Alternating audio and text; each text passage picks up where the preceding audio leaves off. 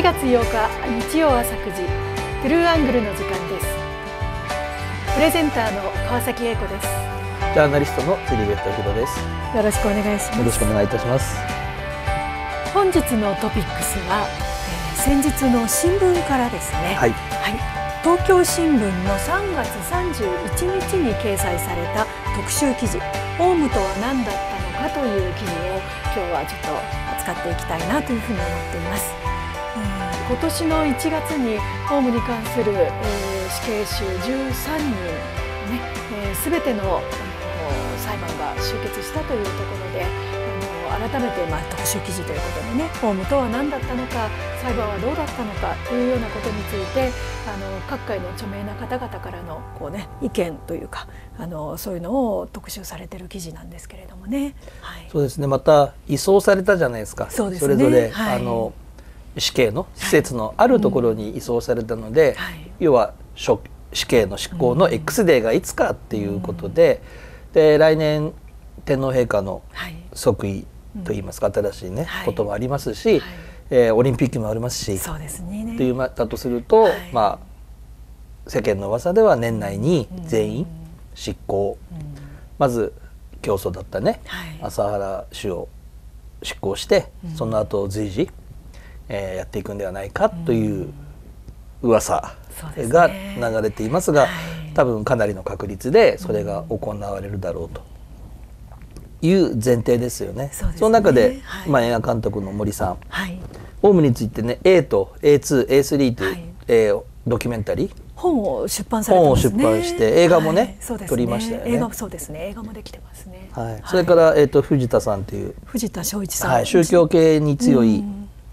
ジャーナリストの方ですね、はい、それから宗教学者の太田さん、はい、で僕森さんと藤田さんは直接、はいうん、あの話したこともあって。で、ね、森さんは結構2回ぐらい長い時間ですね、あの私たちの事件について、はい、えー、話したという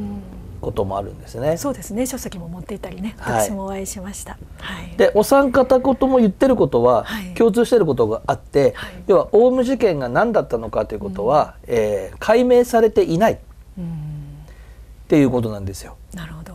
あの13人、まあ、死者29人おられてで死刑囚が13人という中ですけれども割とスピードが早かったんですね。早いですね。あの判決まで10年かかったかなという感じです,、ですよね。でそれから不思議なのは、はい、その朝原氏が、はい、要は精神鑑定について、訴訟能力があるかないかっていうのが、はい、まあ仮病か、仮病じゃないかっていう部分。まあ、僕はあの実際法廷を見たことはないですけども、見た記者から聞くと、えー、明らかに薬だと言ってましたね。それはこう薬を入れられてる入れられてるもしくはまあ処方されてるのか食事に混ぜられたのか分かりませんけれども、はい、薬の影響で意味不明発言するし、あとはあの排泄も、はい、あのできない、まあその辺にね、はい、正してて意味不明なことを言うっていうのは、ある日を境に明らかに変わったっていうんですよ。あなるほど。だから、あれを見たら、誰でも分かるとは言ってましたよね。でも誰もそれを言わない。最初は精神鑑定でこうちょっと訴訟能力がないというようなことになってたんですよね。そういう動きもあったんですけれども、はい、結果的に、うん、えっ、ー、と他もね、うん、死刑出てますから、訴訟能力があったというあったというふうにしないと、はい、あのまさか死刑しない他をね、あの死刑執行して他をしないということもできない。はい、なのでもうオウムが悪かったのだという。朝原がもう全てを仕切ってやったんだっていうという。そういうシナリオ通りということですね。はい、ですからこれはあの他の人たちは、うん、共犯者はね、えー、仕切ったと、うん、指示があったと言っていますけれども、はい、朝原氏は、えー、なぜそれをしたのか、うん、本当に仕切ったのかということは認めてないんですよね。で弁護士も解任しちゃったので、はい、ということで結局あれだけの事件、だって世界で初めての、はいあの生物兵器を使った事件、うん、テロですよね。テロですよね、はい、であの戦車買ったりとか、い。ろんなねいわゆる軍事軍事軍力というか、軍事力をね持って。ましたよね、はい、で、通常買えないですよね。そうですね。軍事力は裏の政府のルートとか、防衛省のルートとか要は武器の売人とお付き合いしない限り、無理ですよね。そうですね。なんかロシアともねこうやり取りがあったのかっていうようなね、はい、噂もありましたけれどもそういうなんか関連でもないと難しいですよね。難しいですね、はい、で結局なんでそれをしようとしたのか、なぜじゃあ弟子たちはそれをしたのかっていうことがわからない。そのことがはっきりしないとこう再発防止とかこのことをどう考えていったらいいのか本当に社会背景は何だったのかということを深めるっていうことが難しいですよね。そうなんですよ。だから刑事手法の、はい、あの一つの大きな理由は、うん、理由というか目的は真実の解明じゃないですか。はい、そうですよね。だから大変な事件だったっていうことは分かりますよね。それは死者が出てこれだけど、じゃあなぜこれが起きたのか、どういう社会背景があったのか。はい本人たちがあったのかっていうことを、えー、考えないといけないと思うんですよ。そうですよね。で注目したいのはこの宗教家の方でここにちょっと赤で囲ったんですけど、日本ではオウムをマインドコントロール論で説明することが多いのですがと。でこの理論は世界的には疑似科学の一つと見られ見なされ、はい、オウムの解明には実質的にはほとんど寄与していませんと。だからマインドコントロールがあったと。また朝か朝原のその競技といいますか、はい、あとそれから修行と言われるようなものですね。そういったものでマインドコントロールされた、えー、人たちが、まあ、この事件を起こしたと。でも13人の死刑囚もそうだよということで片付けちゃってるけれども実はそのマインドコントロール論というもの自体がおかしいんだよおかしいんだと。で、えーと、さらにですね社会心理学者も途中でこの理論のおかしさに気づいたはずなのですが、はい、明確な形で撤回しなかったことは大きな責任があると思いますと言ってるわけですね。なるほど。なので結局真実が解明されていないと。その疑似科学をこう都合よく持ってきちゃってでそのことも深掘りしないままもうとにかく全部捕まえた終わりでしちゃったっていう感が強いという、ね、そうですね。あの別に僕はオウム真理教を擁護する気もないし、はい、えー、事件としては悲惨な事件だったと思いますが、ね。はい、真実の解明という点において、要はマインドコントロール理論で、マスコミにいっぱい出て説明していた人たち、弁護士や、えー、心理学者の方々の理論が間違っているって。結構あそこで先導したわけですよ、ね、そうですよね。もうそのマインドコントロールというのがでかでかとこうメディアのね見出しに出てましたもんね、はい、本のタイトルにもねそれを使われてるような方もいますよね、そうですね。だけどそれが間違っていたもしくは偽物だというふうにもう世界的にはなっているにもかかわらず、はい、その理論でオウム真理教事件が起きたというふうに、今もなっていることに疑問を呈しているわけですよね。そうですね、はい、なるほどこれはもうちょっと早く言っていただければ。そうですね。なんとかなったのでしょうか。それとも彼はねもしかしたら早くからあの言ってたかもしれませんけどもメディアも聞かないふりをしてたのかもしれない、ね、そうですね。我々も裁判でね、はい、えーと、主にいたカルト団体というふうに言われて、そうですね。えー、名誉毀損で裁判しましたけども、はい、その時相手側が持ってきた理論がやっぱりマインドコントロール理論ですよね。なるほどで、ね、私たちはおかしいと、はい、でどこがカルトなのか立証してくれっていう、ことを主張しましたけれども、はい、まあ、相手側がね、その定義論はしたくないという。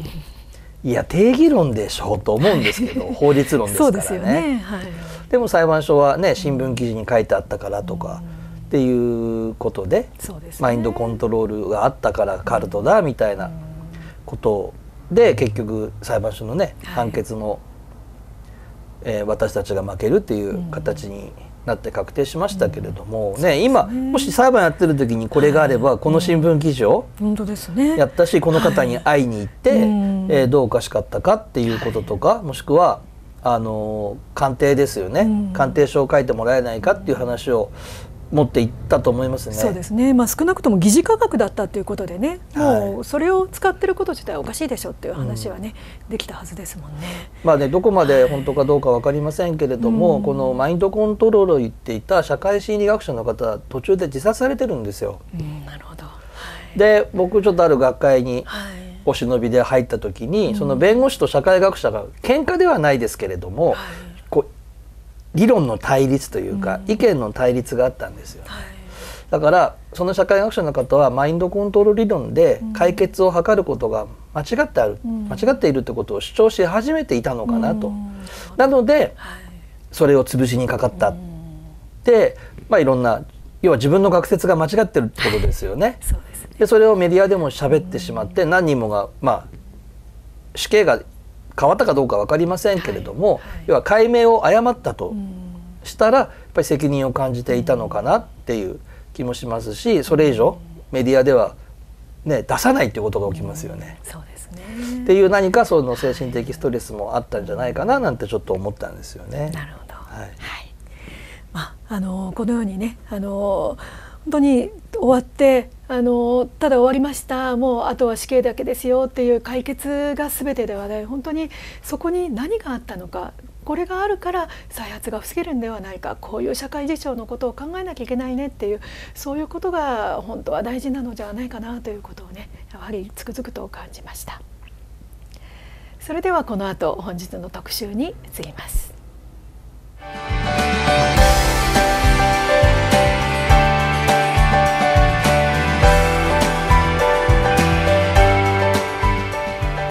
本日の特集に移ります。本日の特集ですが、えー、被疑者ノートというもので、えー、実はこういう被疑者ノートというものがあります。こちらは、はい、ですね、はい、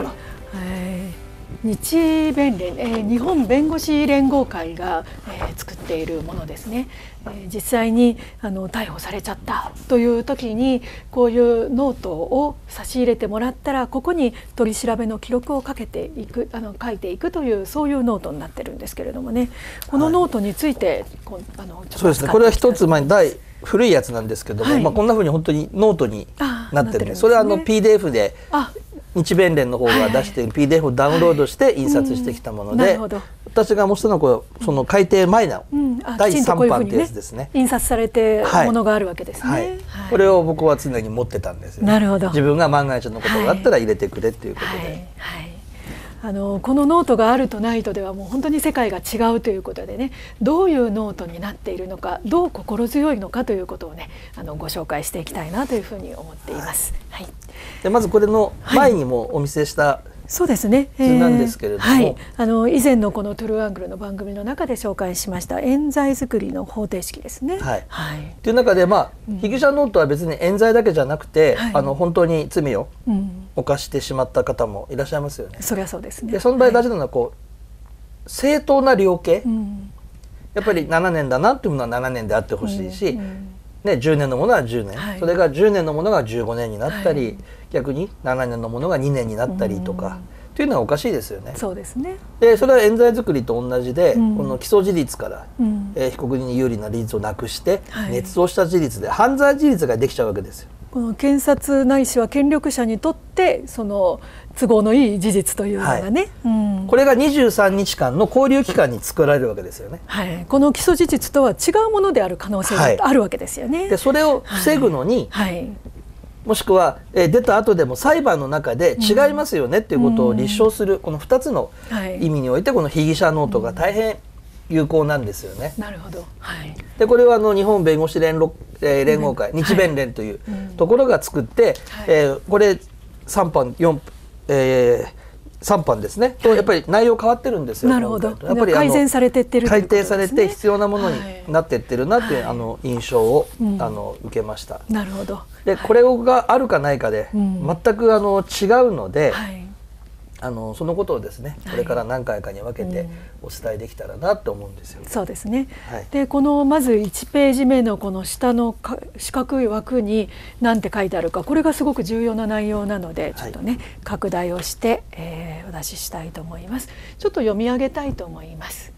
このノートは弁護人が接見の際に見ながら取り調べ状況も説明を受けるとともに後日返却を受け弁護活動に役立てることを予定して被疑者に差し入れ記録を要請するものですのでその記録内容については憲法に由来する秘密交通権の保障を受けます。と書いてあります。はい。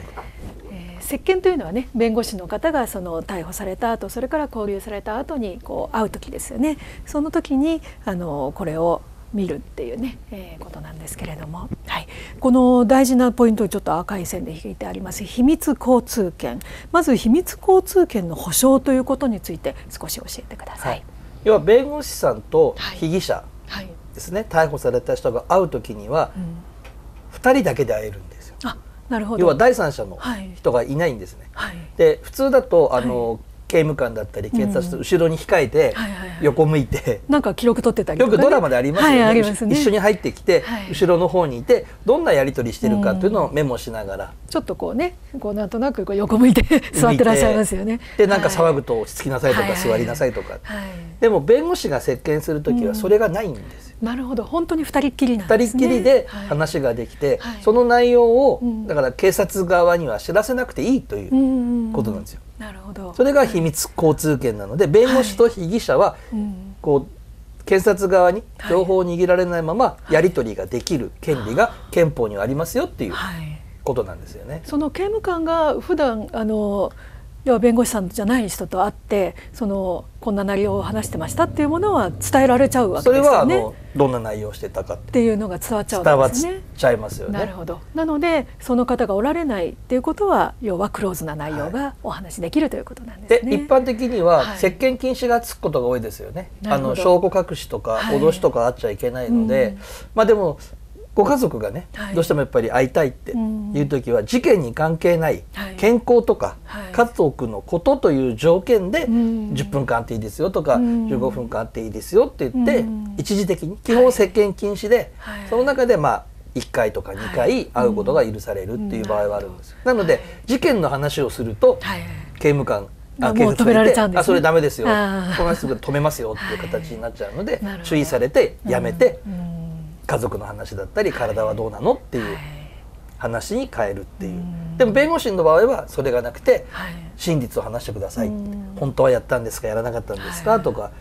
取り調べに拷問はありませんか？とか、きついことありませんか？とかっていう。ことがやり取りできるんですね、はい、なので理想的なのは、はい、あのまあ、知識があればねすぐこの被疑者ノートを、これ差し入れですから誰でもできますんで、はい、差し入れればいいですが、多分パニックですよね。そうですね。なので弁護士先生がね、当番弁護士先生がこれを持って差し入れましたからっていうような弁護士でとにかく書いてくださいというのであれば一番の理想ですね。はいでこのノートに書いたもの記録内容についても同じく秘密交通権の保障を受ける、はい、ということなのでノートに書いたものもあの見せろと言われたら見せませんって言っていいわけですなるほど。刑務官の人がちょっと出せとか言っても、はい、いやいやいやって言えるっていうことですね。で、はい、それをすぐ弁護士に言うと、弁護士の方からどういうことですかって言って、はい、えー、警察の方にこれを保証されてるじゃないかって言って、クレームを入れてくれるので。なるほど、はいで要はこれなんですよね、はい、この被疑者ノートの意味っていうことなんですけど、はい。はい、これを持ってると、まあ、どんないいことがあるのかどういう意義があるのかということですね。はい。で、まあ、後ほど紹介しますけども、まず23日間のトータルの流れ、それから、えー、心構え、が書いてありますよね。そうですね。でそれからその後、各一日についてどういうことがあったのか、取り調べ官が誰なのか、うんうん無理なことはなかったかとか。もう一日一日ね詳しく一日にあのなってるんですよね、なのでこれが差し入れられてるってことは差し入れてるんで書きますから分かるわけですよ。そうですよね。ということは、はい、えー、取り調べ官がこれを記録されるんだなって分かるわけですよ。なるほど。なので、変なことをすると書かれるじゃないですか。うん今日は何時間ねこんなに長かったとかっていうことも書かれたとか、蹴飛ばされたとかね。そういうことも書かれ書けるんですね。家族のことを言われたとか、はい、なんかいろいろ言われますよね。書かれますよね。そう、ね、すると取り調べに問題があったところになりますから、はい、変なことができない。なるほど。そういう意味で牽制。できますよね。なるほど。それから23日前のことって覚えてないじゃないですかいや無理ですね。で取り調べがあって、はい、え何回行ったかなとか、はい、何時からっつっても分かんないですよね、うん、そうですね。それはあの通常の状態でも難しいですけどさらに交流なんかされてたら分からないですよね。ねもうパニックですもんね。なんて言ったんだ警察にって言っても分からないし、例えば「やった」って言って、次「やらない」って言って「やった」と言ったとかってこうやっぱり変遷がありますよね。いつだっても分かんないじゃないですか。ですね、でもこれがあるとこの記憶を出すと、はい、あこんなことがあったんですねってことが分かるんで、そうですね、弁護士さん弁護人の理解が、うん、ああって言って理解助かるわけです、ね、そうですね。あの万が一例えばあんまり書けなかったとしてももう本当に眠いだけで書いてあってもう真っ白だったらよっぽど疲れてたんだねってことだってわかるっていうそう、ね、いう、ね、思い出せますよね、はい、本人も。なるほど。えこの日はなんで少なかったの、って言ったら「ええー」とかって「あ前の日のあれで」って言ったらこう記憶喚起にもなりますし、ね、本人もかけてないでしょ？あ弁護士がねかけてないですよね？とかっていう、過酷な取り調べで？とかって言えますよね、はい、そうですね。そういう意味でも弁護人の理解の助けになるし自身の権利の自覚、はい、それ前の方にこう、うん、心構えとかどういう権利があるか、はい、だから署名しなくていいですとかって書いてあるんですけど警察に言われて署名しなくていいっつって「うんうん、書けよお前」とかって言われたら。怒鳴られたり嘘言われたら分かんないですよね。そうですね書かなきゃいけないのかなとかね。思いますやっぱり。すごいプレッシャーですから警察の取り調べっていうのは、ね。まあ、基本警察に言われたことはそのままやった方がいいんだろうっていうふうに思いますよね。で悪いようにしないからとかね。まあ活動は出ないらしいですけども やっぱりはっきりこう攻め役と、ねはい、なんていうの優しい役っていうのをちゃんと分けて、そうですね、で優しい人が落としたりっていうのがあるらしいんですよ。はい、そうですよね。その時にこう心構えが書いてありますから、はい、それでもう支えですよね。あ自分は理不尽なことされてるんだっていう。そういうことがわかるということですね。それから実際にまあその権利の自覚もそうですし裁判の資料自体になるという、えっと、これが判例上裁判の資料になった例があるということなので,、ね。はい、あの取り調べがおかしかったっていう時に、はい、その証拠はって時に、このノートですなるほど。被疑者ノートにこういうことが書かれていてっていうことが言えるわけですね、はい、なので日付と署名は大事なんですね。なるほど。一番最後に、はい、いつのことか分かんない、前から足したろって言われても困るんで、ちゃんと前から順番に書いておくってことが大事になってきますよね。まあ、そういうこともねあのおいおいね番組の中で紹介していきたいと思います。でまあそういうのがあっての心の支えと、はいはい、やっぱり23日間ってことも知らない人多いですよね。うん、で、ね、ここのページにね、はい、あの23日間のがありますよね。23日間ね実は書く欄があるんですけれどもね。これですねはい。はい。とすると、うん、あ23日間はあるんだと思いますよね。うん、最大ねここまではあるんだなと10日目で1個あるんだって、はい、こういう順番になってるんだっていうのが分かって、終わっていくっていうのも、はい、あの大事なことですし権利が全部書いてありますから、ね、よし頑張ろう。うん。ね、終わりが見えてるっていうことは頑張ることになりますし、ね、記録があるっていうことで、また前を読み返して頑張ろうっていう部分で、はい、えー、支えにもなる。そうですね、はいまあ、こんなね、えー、風でなかなかこうしっかり作られている中身ですので本当にね何回になるか分かりませんけど、はい、ちょっと紹介していこうと思います。はいえー、来週もねこの内容について扱います。この番組についてのご意見ご感想がございましたらメールアドレス true えー、info アットマーク trueangle.net までどしどしご寄せください。本当にこれはねあの実際に私たちの事件の中にもねあのこれを使った方がいましたよね。はい、あとですね、はい、これは分かんなくてノートを入れて、でとにかく1ページずつでいいから、はい、あの何月何日、どんなことがあったか、何を喋ったかどんな思いかっていうのを、あの書いとくことが大事だって言って弁護士先生がノートを、あの差し入れてっていう。こともありましたね。そうですね。まあ、ノートに書くとやっぱりこう自分は今日どうだったかなって振り返ったりね、そのことでちょっと一旦落ち着いたりっていうこともありますよね、きっとね。うん、書くことで精神的に落ち着くっていうことは先生が言ってて、そうじゃないとめいっちゃって、もうわけわかんなくなるんですって。気が紛れないというか、だから書くんだと思って取り調べに耐えれて終わったらね整理する時間っていうのがね意外と大事だったりしますよね。はい、はい、それでは本日はこれで終わり。